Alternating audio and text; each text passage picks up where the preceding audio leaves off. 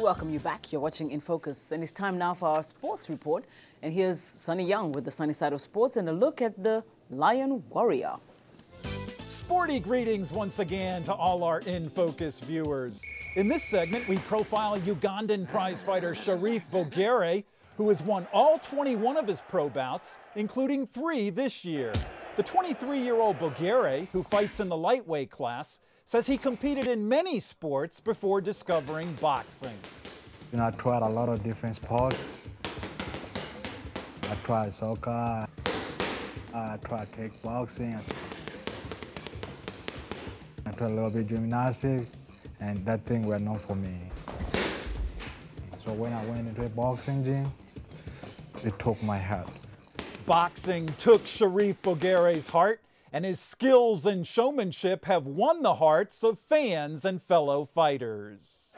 I see that he has the ability to be a boxer, be a puncher. You know, he can uh, give you move movement angles side to side. And he's young. So when someone coming to fight me, he better be ready for anything, because I'm gonna put it on him, you know? I'll be coming to do my business, you know? But I noticed right off when I, when I watched him work he's very strong, physically strong. Not only that, mentally he's strong. When he gets in there, he's very determined.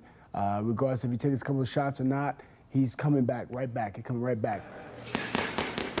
Sharif Bogere is nicknamed Lion Warrior, and he's taken that lion nickname to create a very colorful ring entrance. They thought about, you know, hey man, you fight like a lion. We gotta do something representable like the lion, you know, to Africa. People really, really, really like the entrance. Everybody gets crazy about it.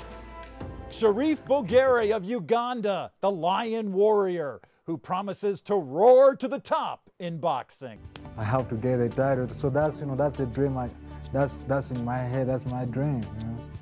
I don't care what weight I will be, but I have to make it. That's my dream. That's my my goal. I'm VOA's Sonny Young, and that's the sunny side of sports.